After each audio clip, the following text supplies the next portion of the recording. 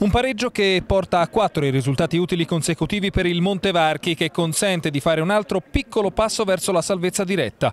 I rossoblù si ripresentano con il consolidato 4-3-3 con Ruffini dentro da subito al posto di Priore infortunato. L'Orvietana si presenta con Orchi, Congiu e Marzini titolari, 13 gol in 3 in questo campionato. Durante il minuto di silenzio per la morte del giovane calciatore del Castelfiorentino Mattia Giani, anche la curva Farolfi ha dedicato uno striscione al ragazzo.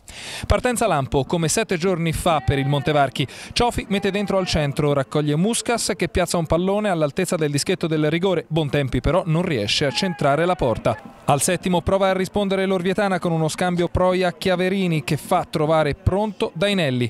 Ma è all'undicesimo che la porta si fa stregata per il Monte che con un dai e vai tra Ruffini e Bontempi porta quest'ultimo a scagliare un diagonale che trova il palo. Sulla ribattuta si avventa Lischi che trova lo stesso montante a negare il vantaggio rosso-blu.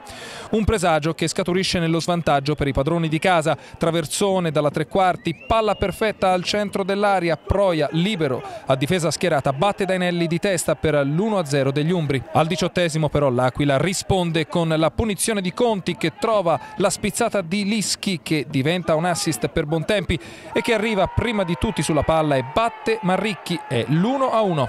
Dopo il gol la partita diventa tattica e l'unico sussulto si registra al 41esimo con un'incursione del Montevarchi, una bella triangolazione che non viene finalizzata. Nella ripresa, dopo 10 minuti, tutti protestano per un presunto fallo di mano di Orchi. Il Montevarchi chiede il rigore, l'arbitro, oggi all'inglese e senza VAR, lascia proseguire. All'ora di gioco il calcio di punizione degli Umbri viene messo dentro per Proia che mette fuori. Dagli sviluppi del corner l'Orvietana va di nuovo vicina al gol, palla alta. La partita si vivacizza, Lischi raccoglie un pallone dalla tre quarti che mette però alto. Al 74esimo Bontempi si fa rivedere a pochi passi dalla porta, l'Orvietana si salva però ancora in angolo. Poco dopo Bontempi cade in area avversaria, Lorenzini tira la maglia al rosso-blu, l'arbitro non concede il rigore, timide le proteste. All'83esimo dalla parte opposta ci prova dalla distanza Greco, palla fuori. È l'ultima occasione del match, partita combattuta nella quale le due squadre hanno da recriminarsi ben poco, se non forse più precisione. Orvietana squadra solida, il Montevarchi conferma il suo fine stagione in crescita, un'altra squadra rispetto ad inizio campionato. È stata una partita in cui si è pensato al risultato perché tutte e due le squadre volevano il risultato sicuramente. Era una partita difficile da un punto di vista soprattutto mentale perché quando sono quelle sfide decisive chiaramente eh, è un po' più difficile. Eh, la squadra sicuramente ha fatto un piccolo passo indietro dal punto di vista perché era un po' contratta, eh, probabilmente per l'importanza del risultato e, e questo si è visto fin da subito però abbiamo cercato di fare la partita, abbiamo cercato di vincerla fino in fondo, voglio dire.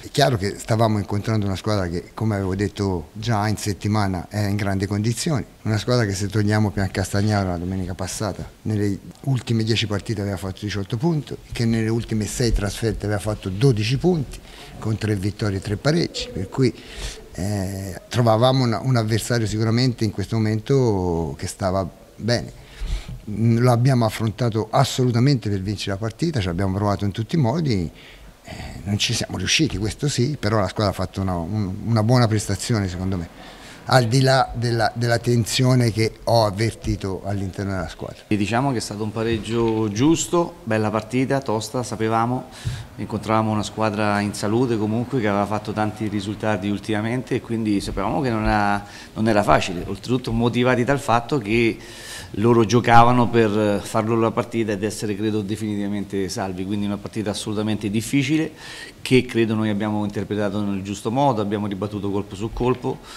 Eh, se devo fare un piccolo appunto, probabilmente in occasione del pareggio c'è stato un, un, piccolo errore che ci è costato e, e non, è, non, è, la prima volta. Penso che fino a 10 minuti alla fine le squadre hanno cercato di, di far proprio la partita. Eh, è chiaro che poi dopo quando mancano 5 minuti e vedi, e vedi il traguardo eh, la paura forse di perdere prevale eh, sul fatto di andarla a vincere. La nostra salvezza passa anche attraverso un mattoncino, oggi ne abbiamo messo un altro su, domenica per quanto ci riguarda faremo un'altra partita molto difficile ma andremo in un campo importante ma non ci spaventa assolutamente.